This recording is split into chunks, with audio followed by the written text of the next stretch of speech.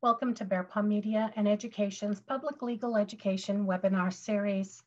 My name is Nadine Callahoo Hansen. Bearpaw Media and Education is a department of Native Counseling Services of Alberta, and our primary goals are to make public legal education understandable, accessible, and affordable for Indigenous people. We at Bearpaw are not lawyers, although we do endeavor to make sure that this information is correct and current to the best of our abilities and is edited by lawyers. Of course, laws change with elections and societal values. So this information is designed to be general in nature and may not apply to your specific situation. It may still be necessary to consult a lawyer for legal advice to assist you. For more information, you can go to our website at bearpawlegalresources.ca or follow us on social media at Bearpaw Legal. I'd like to begin by acknowledging that the land in which we gather is Treaty 6 territory and a traditional meeting ground and home for many Indigenous peoples, including the Cree, Saulteaux, Blackfoot, Métis, and Nakota Sioux. Today's topic is going to be Indigenous hunting, fishing, and trapping, and try to clarify some of the uh, mystery or gray area in that in in that area. So there have been lots of different uh, legal acts that have shaped Indigenous um, harvesting rights, inherent rights, in fact. And um, it seems as though as as the years go by and with every piece of legislation, um, our inherent rights continue to get chiseled away. Of course, the original um, piece of legislation that assured Indigenous um, rights was the Royal Proclamation of 1763, which, which was created by King George III. And then throughout the uh, throughout history, more and more legislation has been created, uh, treaties. The Royal Proclamation stated that um, anybody that wanted to utilize the land in the Americas for whatever purpose had to negotiate a treaty with the indigenous people. And so treaties were created and more legislations were um, passed to continue shaping and um, chiseling away at those inherent rights. Uh, one of the most significant uh, pieces of legislation was the Natural Resources Transfers Act of 1930, which eliminated Indigenous rights to, uh, to commercially sell their hunting and fishing and trapping uh, products.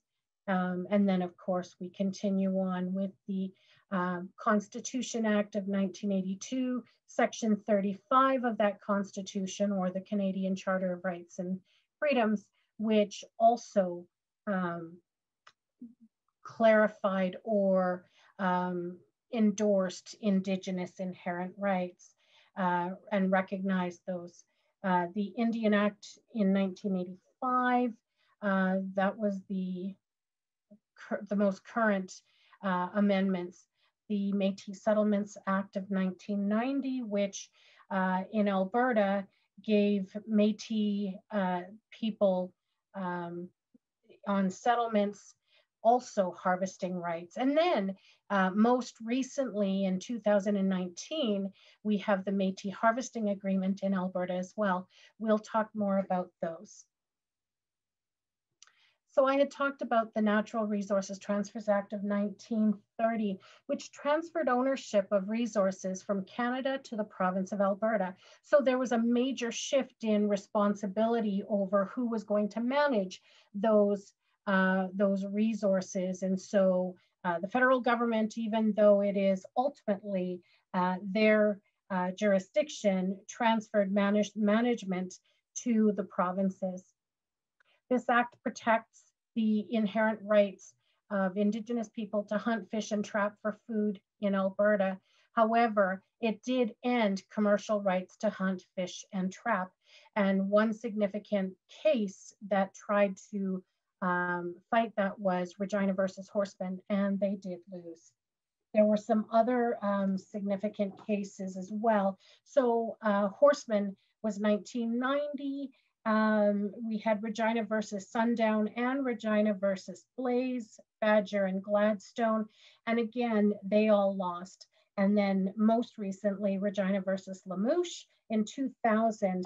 And uh, Court of Queen's Bench in Alberta confirmed that the principles in the Horseman apply to fishing as well. And so um, they haven't been successful to uh, change the, the elimination of commercial rights to hunt, fish, and trap. And then, of course, we had mentioned briefly that Section 35 of the Canadian Charter of Rights and Freedoms, otherwise known as the Constitution Act, recognizes and affirms all Aboriginal and treaty rights. What that means is that Aboriginal and treaty rights can never be taken away. Okay. In Alberta, treaty Indians are guaranteed the right to hunt, fish, and trap for subsistence. That means for food on all unoccupied crown lands, meaning not privately owned land. Uh, treaty in, Indigenous people can do this at any time of the year. There are no limitations in terms of when, uh, just that they have to be on crown land, unoccupied, uh, not privately owned land. Treaty Indigenous people must carry their Indigenous, uh, their INAC cards or Indigenous Services Canada uh, card with them to prove their registered status.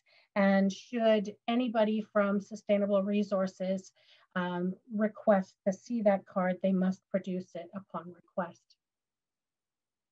So what does subsistence mean? It means supporting life. In other words, what you need to do in order to survive and or support you and your family.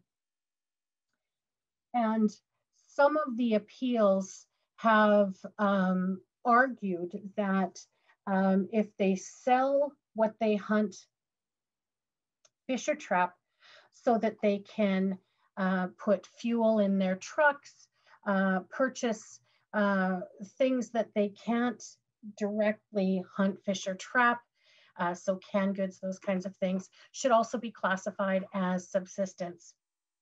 To date, they've not been successful. So subsistence is what you directly do in order to survive to support you and your family. So what you hunt and fish and trap uh, to eat and not sell all hunters, fishers, and trappers, including status indigenous and Métis harvesters, can access private land if you get permission from the landowners. What our lawyer stated was clients could be advised that they do not need to ask permission of a landowner if the private land is unfenced, unsigned, has no clear buildings on it and is not being used for agricultural purposes. Or if the land is uncleared muskeg or uncultivated bushland. However, if the private land is clearly occupied, consent from the owner or occupier must be obtained before an Indigenous person may hunt on that land. An indigenous status person looking for looking to fish for food uh, needs to apply to Fish and Wildlife Sustainable Resources for an Indian domestic license. You only actually have to go to um, a, a Sustainable Resources office once to register. And once you're registered and you have um, a register, you're in their system, uh, every year, you just have to log on to the RELM uh, website in Alberta and you can renew your Indian domestic license right online. You can print it off um, right from home. Uh, so you only actually have to go to their office anywhere in the province uh, once to register in their system. However, keep in mind that um, under the law, it is not an infringement. In the eyes of the law, it is not an infringement of an Indigenous person's harvesting rights to ask them to or to require that they uh, get a license. The license doesn't cost anything, it's free. Um, but you do, and, and there are no limits on that license. Um, it's just for management purposes only to know who is actually out there harvesting. Um, so you only have to go to the office once and then you, you are required to renew that license every year online. When Indigenous people are fishing in national parks, they all individuals need to get a specific permit before doing so.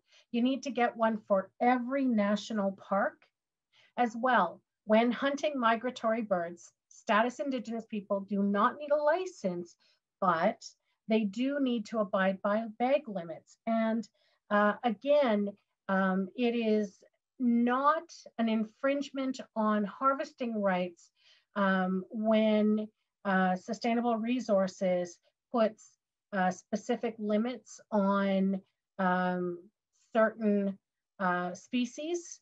Uh, it's about managing, making sure that um, those resources are sustainable, that they continue. Um, and so uh, migratory birds, you don't need a license, but you do need to still abide by those bag limits. a status Indigenous person fishing for food needs to um, get a domestic license from Fish and Wildlife. This individual can use whatever means traditionally uh, for fishing, if it means using a rod, reel, net, etc. What the courts found is that getting a license is not an infringement on treaty rights, but placing conditions on that license may not be acceptable. So for example, having a certain size net, and this was fought or uh, appealed with Regina versus McCall in 1996. Uh, also, uh, some other cases that um, that were appealed. Regina versus Machatis in 1991, uh, where they were uh, fishing with gill nets without a license. And uh, and then Regina versus Tommy in 2008, where there were restrictions on types of fishing gear. Um, and so in those cases, uh, what the courts had found was that um, if um, Fish and Wildlife uh, places conditions, um, it may or may not be an infringement on um, on indigenous um, hunting and harvesting rights as long as they can show or indicate that it's for the purpose of managing and maintaining, um, sustaining uh, those species. Registered Indigenous people, as well as Métis harvesters, are not required to have a sport fishing license but they are required to follow sport fishing regulations. You can actually get on the RELM website, uh, you have instant access to all of the sport fishing and hunting regulations.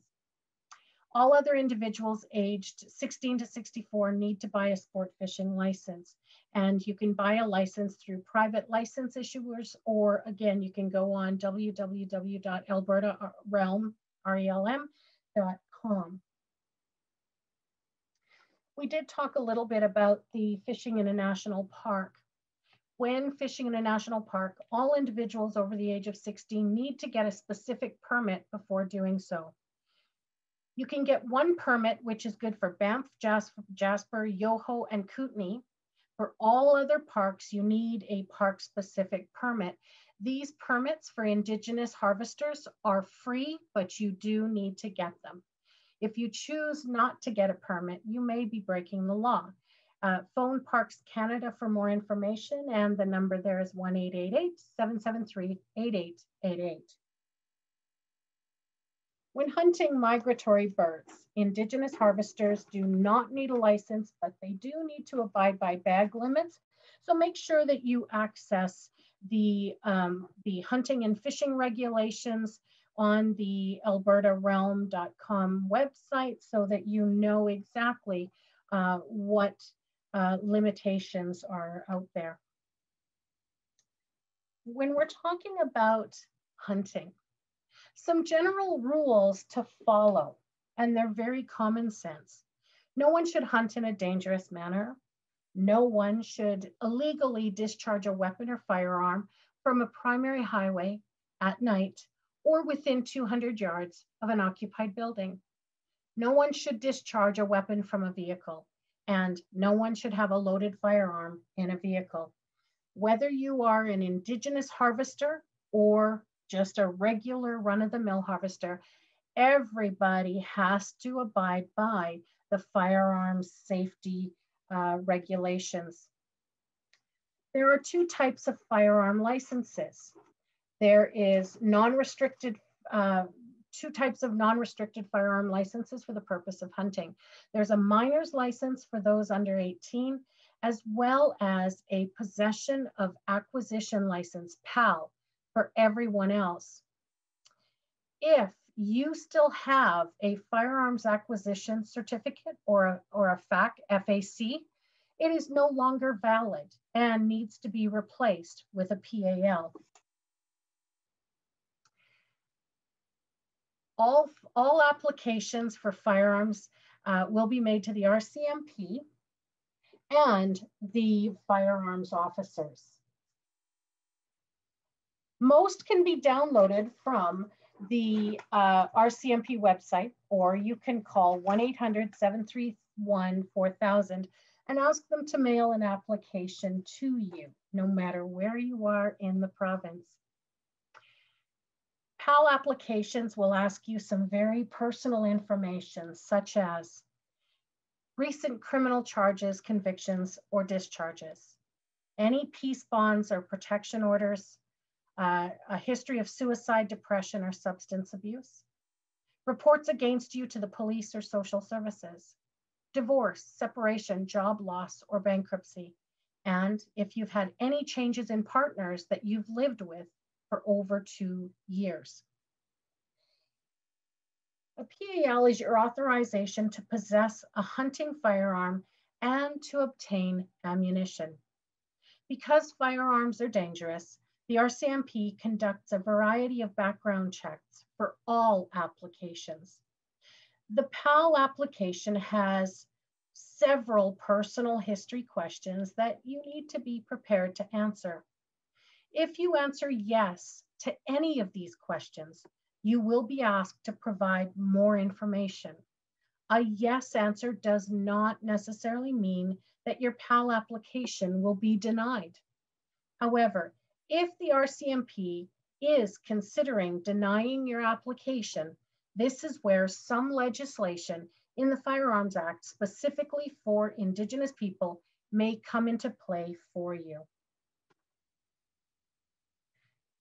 In 1996, the Firearms Act was changed to include several adaptations for Indigenous people who engage in the traditional hunting practices of their community the key benefits are getting alternatively certified for firearms safety training instead of having to pass a Canadian firearms safety course. The ability for children under 12 to legally engage in the traditional hunting practices of their community. And if you think some of your answers to your personal history questions may lead to your PAL application being denied, you can submit an elder or leader's recommendation stating that it is important for you to participate in the traditional hunting practices of your community. The RCMP and Chief Firearms Officer will then consider that recommendation when making their final, their final decision on issuing you a firearms license. As part of the Aboriginal Indigenous adaptations to the Firearms Act, a qualified Indigenous people uh, qualified Indigenous people have the ability to not have to take the firearms safety course and instead apply to be alternatively certified. Using Form 5642 on the RCMP website, Indigenous People of Canada Adaptations Regulations, an elder may be grantor, uh, alter, may, uh, alternative certification based on their status as an elder and by signing a declaration that states that they engage in the traditional hunting practices of my Aboriginal community. If you are an, an adult over 18, but not an elder, you can only be eligible for alternative certification if the Canadian Firearm Safety Course is not available within reasonable time, location, or cost. So if um, if the course isn't um, isn't readily available in a timely fashion, if it's not um, uh, available anywhere in your uh, in your area, or if the cost is prohibitive, you just can't afford to take the, the course, uh, then you may qualify to be alternatively certified. In the application, you would require an elder or leader in your community to fill out a recommendation that explains why they believe it's important for you to participate in the traditional hunting practices of your community. The elder or leader would then have to check one box that declares that they believe you know the safe handling, transportation, storage, and use of firearms and the laws relating to them. The second box simply declares that to the best of their knowledge, you are a member of an Indigenous community and engage in traditional hunting practices.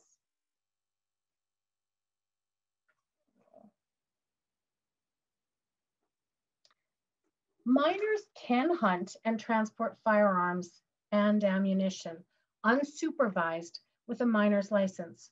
If they don't have the minor's license, in both cases, they have to be using a registered non-restricted firearm. Without the license, minors need to be supervised by an adult with a PAL and are not allowed to transport firearms and ammunition. With or without the license, minors are not able to purchase or acquire firearms. A minor's license application cannot be obtained online you must contact the chief firearms officer of the province or territory where, where you live in and request the form directly. Parental consent may be required, and you will also be required to have either taken the Canadian Firearm Safety course or have received an alternative certificate. The process for a minor applying for alternative certification is mostly the same as an adult application. However, if you don't have an elder or a leader who can make the recommendation for you, you can use another adult in your community who has known you at least six months and either already passed the firearm safety course or has been alternatively certified. Even minors under 12 with the consent and likely an interview with their parents or guardians are eligible to apply for a minor's license. They would need a written recommendation from an elder or leader in their community who would indicate that the minor under 12 knows about the safe handling of firearms and their laws. Once a minor turns 18, their minor's license is no longer valid and they also will have to apply for a PAL. Once you complete your firearms application, mail it to the RCMP. You can expect at least 45 days to process your application. Licenses are valid for five years. Make sure to renew your license before the expiry date and you won't have any delay in your hunting season. According to the Alberta Wildlife Act, no one should let the edible meat of any animal or bird be wasted. You must remove all edible meat from a harvested animal or bird and use for food. Failing to do this could result in a criminal charge. The Alberta Wildlife Act does not refer specifically to hunting for medicinal purposes. According to the Alberta Wildlife Act, a person can kill a fur-bearing animal, mountain lion or bear, and leave the carcass as long as the skin is not wasted. And this was uh, a case, Regina versus Lenny in 2006, where hunters shot a black bear, skinned it, and left the carcass and the court said that it was legal. However, um, Jack Woodward, the lawyer that we consulted with this, advised that some species that are dwindling, such as the grizzly bear, are a hot topic and leaving the carcass may be received poorly. Woodward strongly recommends against leaving the carcass of an at-risk species. all hunters, including treaty indigenous, must register certain species of wildlife, such as the grizzly bear, the male bighorn sheep over one year of age, cougar, mountain goat, and bison. What the courts found was that the requirement to register your kill is not an infringement on treaty rights, such as the case in Regina versus Rogers in 1998, uh, which, which was a case from Treaty 7 where um, an Indigenous person failed to report an elk kill. The court said that the need to report kill is to assist in conservation and management. Therefore, there is no infringement on treaty rights. And again, if you are registered, uh, you can access the Alberta Realm, RELM website. And another piece, another really handy dandy piece of information on that website is a complete list of at-risk species. And so uh, if you are out hunting and you're not quite certain about uh, a species that is in your line of sight, you can always check to see if it is uh, an at-risk species.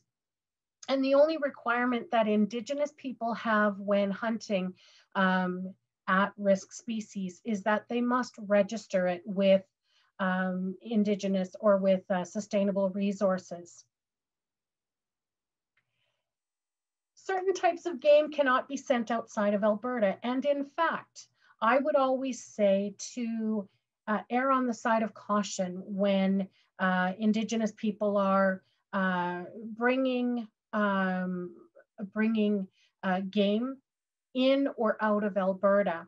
Um, so simply contact your local Fish and Wildlife Office um, if you want to take um, game in or out of Alberta, you may be required to have a transport license. Um, and again, these licenses are free for Indigenous people or Métis harvesters. Um, but you do you for many species you are required to have at least a transport license so that they know um, where you're taking that uh, that game and also failing to get that uh, transport license can result in having your game confiscated and be criminally charged. When Indigenous or Métis people are trapping fur-bearing animals, the uh, Indigenous people, treaty people must have an Indian fur management license, uh, which they can get either from a uh, sustainable resources office or they can even go to their band administration office uh, to get one of these licenses and there is again no charge for that license the only requirement is that you must be at least 14 years of age and you must have, uh, you must be in possession of this license when you are uh, trapping uh, fur-bearing animals. This also applies for Métis uh, people, Métis harvesters.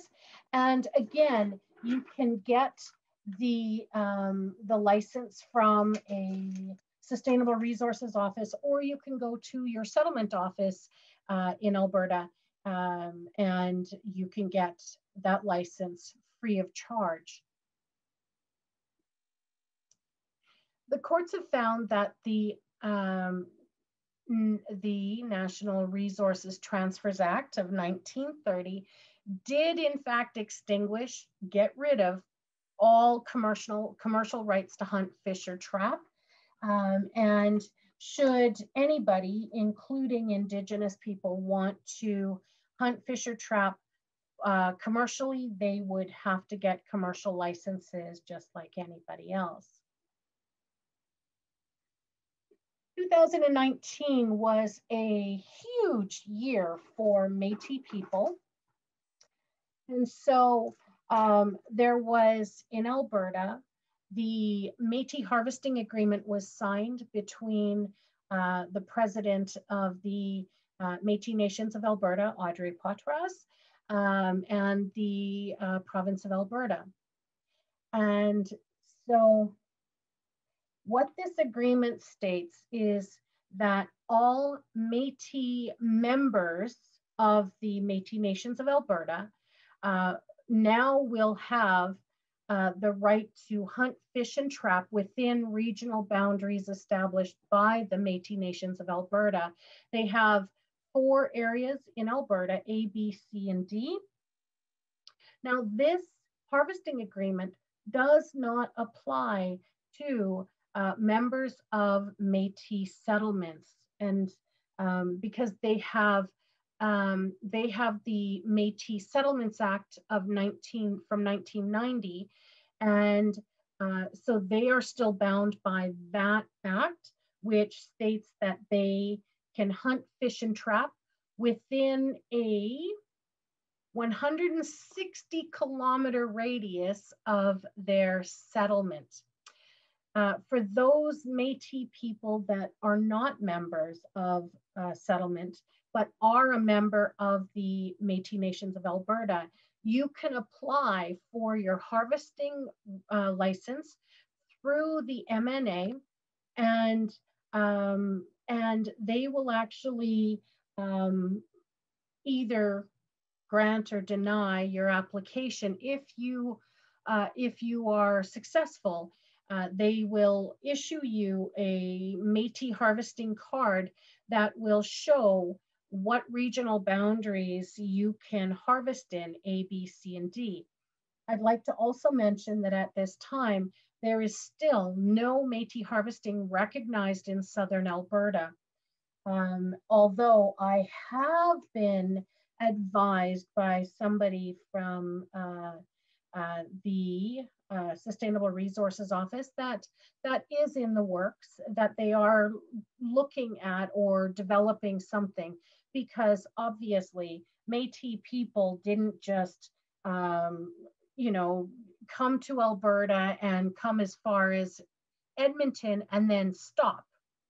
That we do have uh, Métis people that uh, have traditionally uh, resided in the southern part of the province that have been fighting to be recognized. And so, um, as I'd mentioned, uh, laws change all the time with societal values and uh, with every election. And so um, this, this may change in the not far off future as well. And once it does change, we'll be sure to let you know. Métis harvesters do not need a license, only their MNA harvesting card. Just like Indigenous treaty people, there are no seasonal boundaries, but the MNA encourages not to harvest from January to July, especially of female species. And again, it's really about uh, sustainable, making sure those resources are still available for future generations. As well, can only harvest for subsistence for family only. You can have a non-Indigenous person assist with the harvest as long as they are not the shooter. My contact person at the MNA and who you would contact as well if you have any questions uh, regarding Métis harvesting uh, would be Craig Latonder. And he provides meat for elders in his community. However, he says that it's a personal choice that you may need to defend in court. And so it's it has to be a personal choice. The MNA have uh, listed some harvesting conservation practices that I've included in here. Métis people have been harvesting plants and animals as a means of survival for hundreds of years and are rooted in traditional belief systems and ways of life. Métis harvesters maintain a fine balance between meeting the needs of their people and protecting wildlife and their habitats. As part of implementing the new Métis harvesting in Alberta policy, we want to share important practices for your consideration before your next harvest. Harvest what is available and take only what you need. Métis harvesting is, by its very nature, conservation focused. These traditional practices include no big game hunting from January to July, as well as no harvesting of female game if accompanied by offspring less than one year old. Know your species and their appropriate ages for harvesting, as well as breeding season management practices. Harvest where the environment is healthy and populations are plentiful be aware of current rules and regulations surrounding gun safety. And just like with treaty Indigenous people, you do need to register as a harvester uh, with the sustainable resources. Uh, first time only, you do need to actually go to the office of a sustainable resources uh, in your area and register in person. Once you're registered and in their system, you can actually go on their website every year and renew your licenses. And all licenses are free for Indigenous harvesters, whether you're Métis or Treaty. With Métis fishing, you need to get a domestic license again once from Sustainable Resources, who will issue a WIN card again free of charge if you don't already have one, and will then list you as an Indigenous harvester. Once you're listed, you will be able to print off the Métis harvesting regulations from their website and no fishing from April 1st to May 14th annually. Métis individuals can no longer present a Métis Nations of Alberta card as proof of their Métis identity. Métis indi individuals need to meet the Powley test. However, with the new Métis harvesting agreement um, that um, presenting a Métis harvesting card should be enough.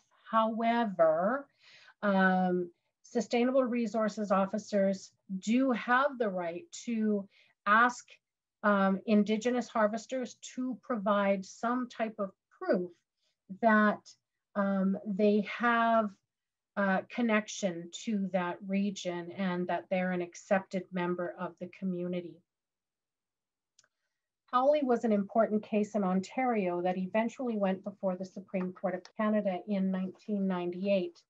The Supreme Court of Canada said that Métis do have a right to hunt for food under Section 35 of the Canadian Constitution.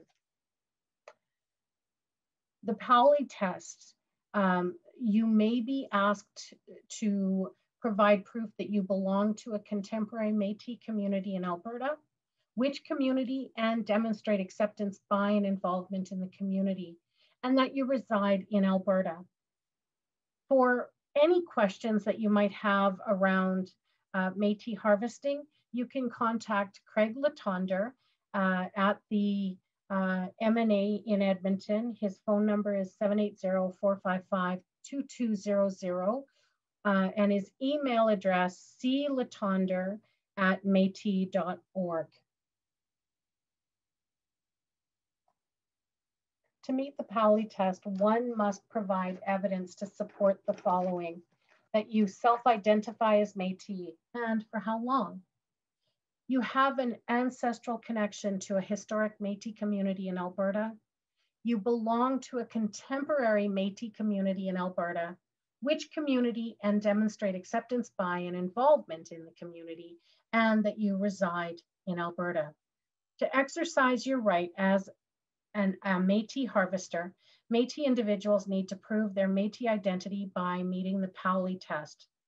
MNE membership or Métis settlement memberships are an example, as well as genealogical history, where your ancestors lived and when. We also have uh, eight recognizable um, Métis settlements in Alberta that um, have the Métis Settlements Act of 1990 that oversees um, their what they can and can't do. So if you meet the Powley test, you will be given a letter confirming your ability to hunt, fish, and trap within 160 kilometers of the eight Métis settlements, and they're all north of uh, north of Edmonton. Uh, Paddle Prairie, Peavine, East Prairie, and Gift Lake, which are in the northwest part of the province. And then we have Elizabeth, Kikino, Buffalo Lake, and Fishing Lake, which are in the northeast part of Alberta. But we also have 17 historic and contemporary Métis communities in Alberta as well. Uh, areas around Bonnyville, Cadotte Lake, Conklin, Cold Lake, Fort Chipewyan, uh, Fort McKay, Fort Vermilion, Grouard, Lac La Biche, Lac St. Anne, Peace River, Slave Lake, Smoky Lake, St. Paul, Trout Lake, Wabasca, and Wolf Lake. Métis harvesters should bring this letter with them when hunting, fishing, and trapping.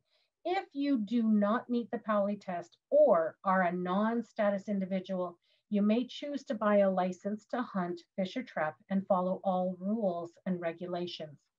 If you choose not to buy a license, you may be fined and or charged. We have, we always have cases uh, in before the courts. Regina versus Jones, Bates, and Hirsekorn uh, were the three cases in Medicine Hat Provincial Court that were uh, three Métis harvesters charged with hunting without a license. And their appeal was, or their argument was, that there are Métis people that are traditionally south of Edmonton and that they should be recognized.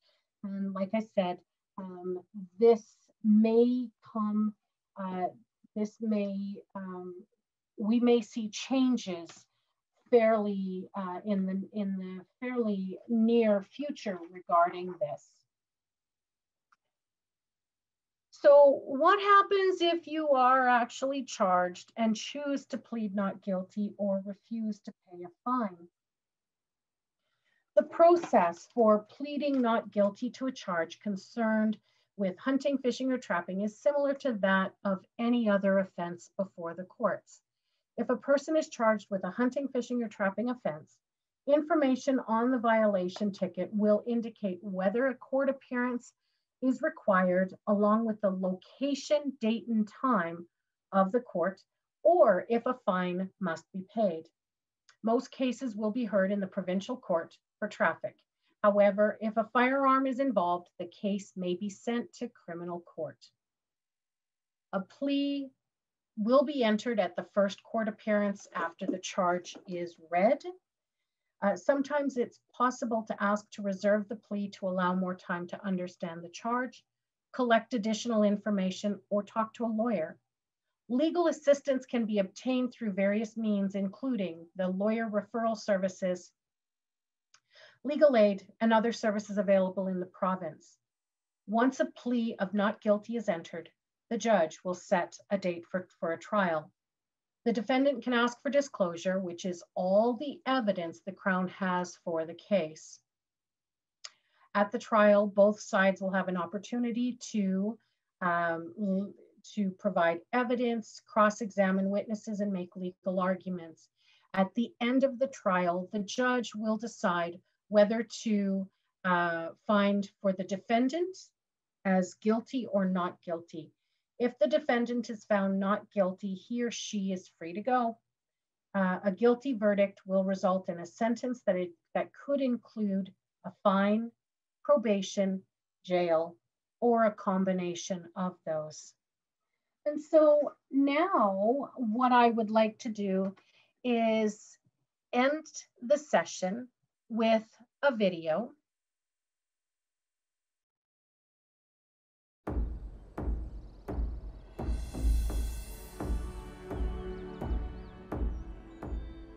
Teaching young people about the importance of exercising their traditional right to hunt isn't about going out and shooting an animal.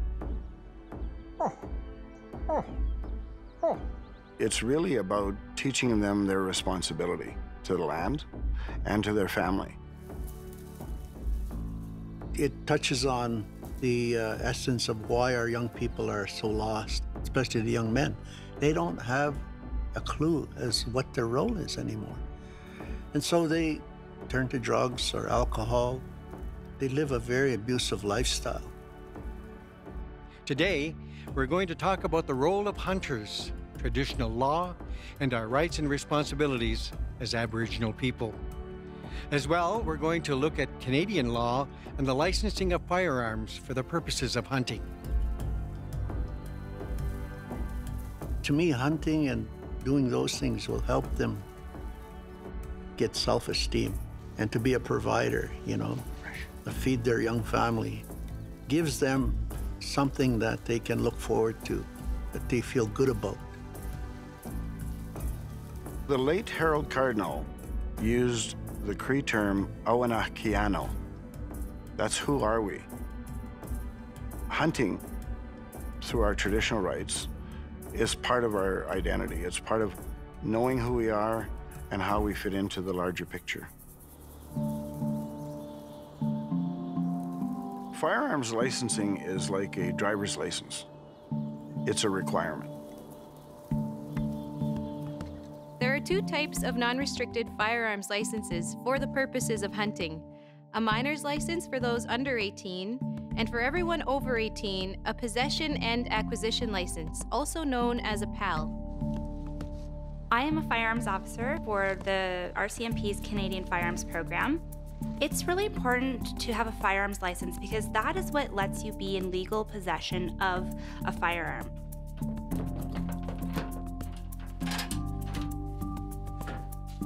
All Aboriginal people, whether you are First Nation, Métis, or Inuit, require a PAL to legally possess and acquire firearms and ammunition for hunting. Quick note here, if you still have a firearms acquisition certificate or FAC, it is no longer valid and needs to be replaced with a PAL. Gun laws and gun legislation is really important because it's about safety. The treaty stated that we will inherit and continue to enjoy the former life of what our people had lived. Having to acquire a license, if that's what it's going to take, then I can go along with that. But let's co-manage it so that our teachings and our ways of managing our gifts, our the animals, are integrated with those laws. So it benefits both parties. And that was the intention of the treaty in the first place. No matter what type of firearms license you apply for, you will be applying to the RCMP and the Chief Firearms Officer. Most applications are available for download on the RCMP website. If you don't have access to the internet or aren't comfortable with computers, you can call 1 800 731 4000 and ask them to mail you an application. So, aunties, you've been hunting for a really long time. Do you have your PAL with you? Mm-hmm. Yeah. Cool. Can I see it? I like to keep mine on me, also my treaty card, eh? Oh, because yeah. when you're out there, you have to have it. Wow. If you don't have that, there's no way you can buy ammo. Well, if you're going hunting, eh, and you're transporting a gun or firearm, whatever, if you get stopped and you don't have your pal and you have a gun, your treaty card ain't gonna save you. Mm-hmm.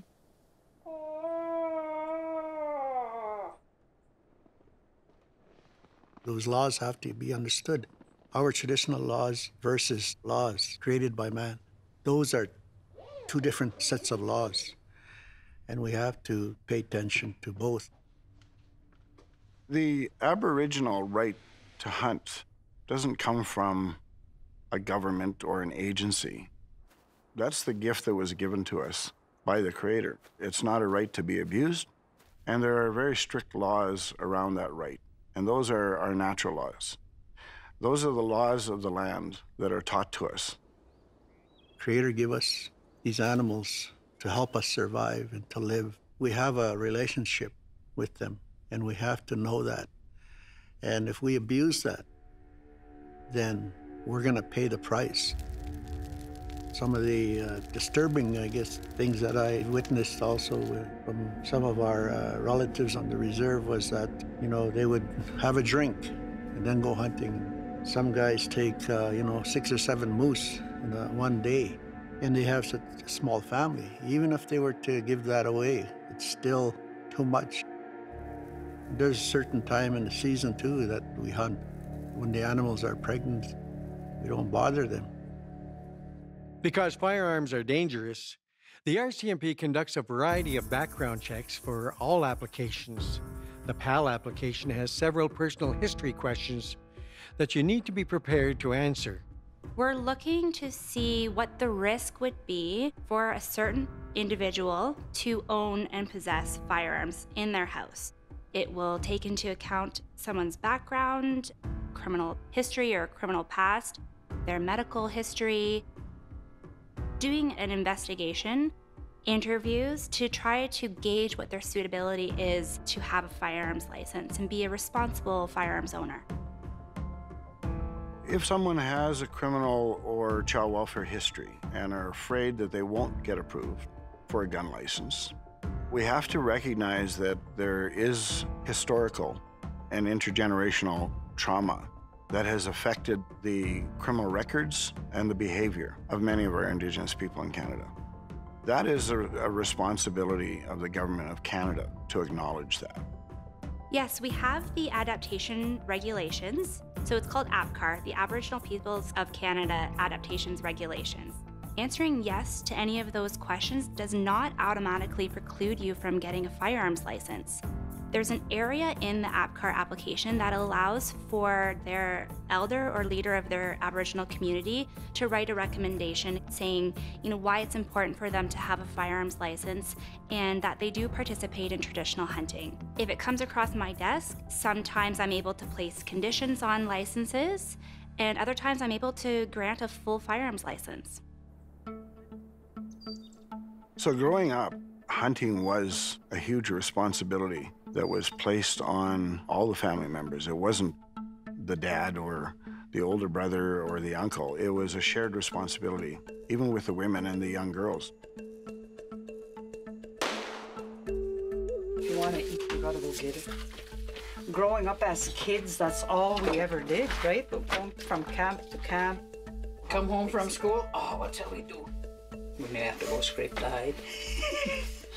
Nothing ever went to waste when we were growing up. We, nothing still really goes to waste. We don't waste anything. Yeah. See? You get this little strip, then you hang it and it smokes, and that's your stew. We still have to follow those very strict, you know, protocols and very strict teachings around hunting and respecting that animal. They're better than The animal gives its life to us to feed us, to sustain us. And we're fortunate when we're able to provide food for our family because that's a gift. Most of us grew up that it's a communal thing, so you share with the larger community. The organs and some of the meat is set aside for certain ceremonies. My boys have always been taught that they're not just hunting for them and their family, but they're hunting for the elders that gift out there that has its own laws and its own world. Everything that they forage, they eat, is something that we eat. It benefits us because they've eaten that and it's part of their medicine. So when we take it, it's part of our medicine now. It's given that to us. My girls know how to do this. They also help me with drying my hides. This is the best part of our traditional lives. So when fall comes and we're all out there hunting, you come home, you have everybody coming over and asking for dry meat. When I was growing up, there was not a lot of technical teaching of, of a rifle or how to handle a gun. It was really some very basic things. Never trust an empty gun, never point a gun. We were taught how to carry a rifle properly because it's a tool. That tool is what helped to feed your family. Okay, Auntie, what are some basic rules you would teach me about handling a gun? I think one of the first things you have to always make sure like it's not loaded. And you have to always be aware like there's nobody like you're not po- pointing this like I, I see that a lot. Like when people are hunting, they'll pick up their gun and then they're loading it in the quad and then Mm-hmm. The Canadian Firearms Safety Course is controlled by the RCMP and is mandatory for most Canadians in order to apply for a PAL. because the Canadian Firearms Safety Course has so much great knowledge in it that it's really beneficial to people of all levels of experience with firearms.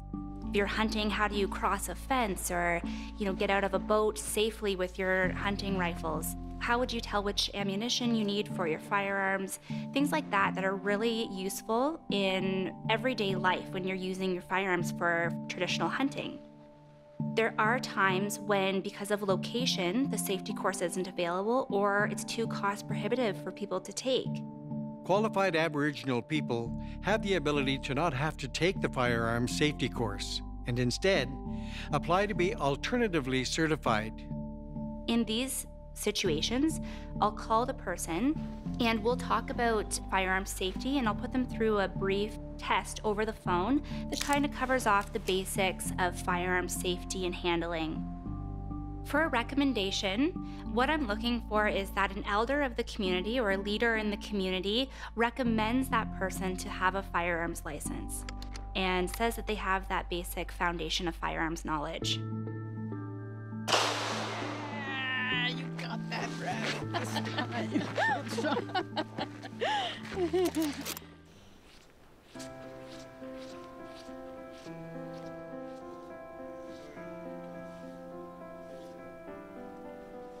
Youth under 18 can borrow a non restricted firearm legally for hunting or target shooting without a license.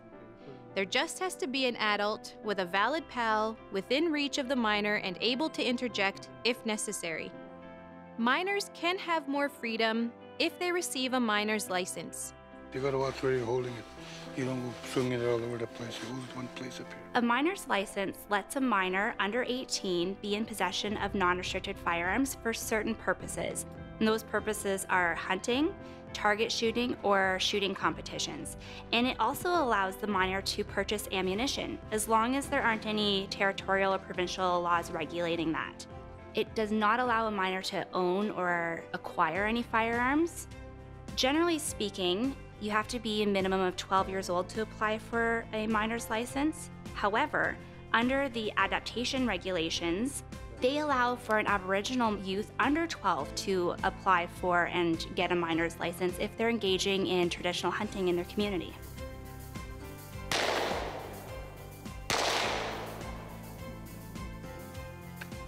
Once a minor turns 18, their minor's license is no longer valid and they will have to apply for a PAL. You can expect at least 45 days to process your application. If you currently have a PAL, make sure to renew it on time and you won't have any delay in your hunting season. And we try to abide and respect the laws that the government's putting in place. We need to create that res- respectful relationship, not only for ourselves, but also the animals out there. You know, we often hear, oh, you treaty people. Well, we're not standing alone having a treaty. There's another group over, and that's you. We had an agreement. Live up to your agreement, and we'll live up to ours. We'll coexist and we'll work together to protect our rights, to protect our land, to protect the animals, you know, to protect the interests of our next generations to come, our children, grandchildren. Those are important things to us as elders, and that's why we need to do this. They're not two separate laws in that they don't walk individually. The laws of Canada and natural laws walk together. And it's a matter of working through those relationships between the two laws.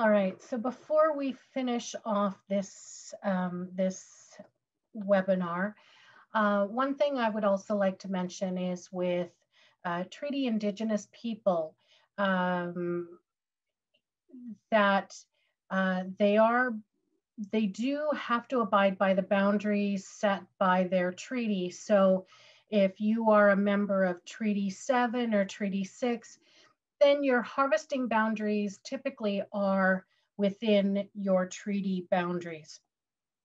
However, that being said, um, if you were to uh, want to harvest in another treaty area, uh, what you would need to do is get a letter from the uh, from the First Nation uh, band that in the area where you would like to harvest. It's called a shipman letter, S-H-I-P-M-A-N, shipman letter. Um, and as long as you have that letter, you can harvest in other treaty areas. All right, so uh, that concludes the webinar, Bear Paw um, Media and Education webinar on Indigenous harvesting, hunting, fishing, and trapping.